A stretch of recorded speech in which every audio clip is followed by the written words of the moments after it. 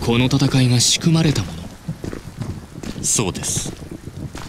ユーティック機関をいやこのミルチア全域をスケープゴートに仕立てたね。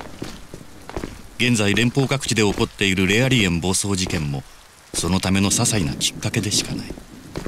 一体誰が何のために？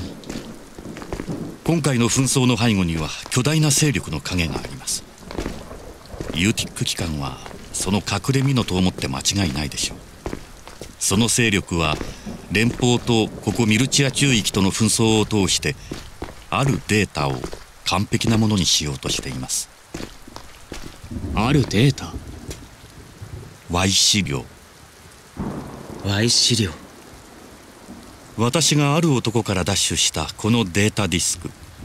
断片的にではありますがこれを解析した結果全ての事象から得られるさまざまなデータがある領域で一つに集約されていることが判明したんです。その先にあるのが Y 資料として記述されている得意領域。宇月隊一体どうやってそんな情報を？まあいろいろとね